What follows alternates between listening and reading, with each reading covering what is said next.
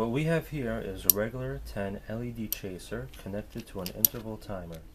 It can get boring constantly watching a chaser doing the same thing, so we have a little diagram that shows how it's done.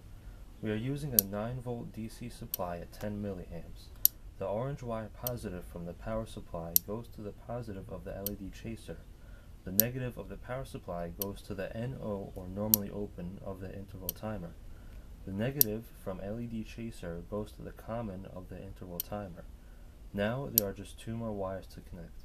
We tap a positive from the power supply, connect it to the positive of the timer and the negative from the power supply to the other side of the timer. The two pots located on the timer's board will tell the timer how long to stay on or how quick to cut off.